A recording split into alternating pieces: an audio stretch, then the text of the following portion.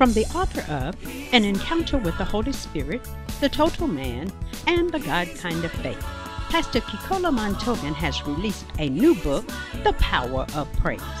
Pastor Togan shares the biblical principles of how your praise releases God's presence and His presence brings salvation, healing, deliverance, and miracles.